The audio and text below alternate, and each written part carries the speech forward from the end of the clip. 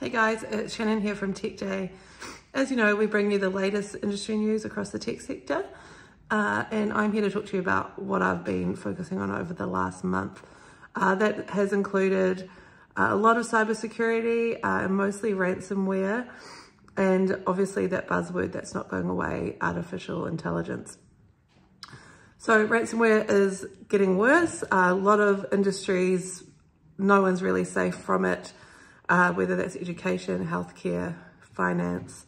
Um, and so we bring a lot of expert opinion on what people can do to combat that and a lot of uh, product releases about, um, you know, a lot of uh, software companies and what they're releasing to, to, to help in that, in that area. Um, artificial intelligence, uh, we're, you know, looking into that all of the time and how that's developing, the ethics around it, the governance around it. Um, yeah, so, you know, I, ho I hope that bit of information there helps you um, learn about the type of uh, stories that we're, we're covering right now. Um, so get in touch. Um, and yeah, we're looking forward to working with you next month as well. Thanks. Bye.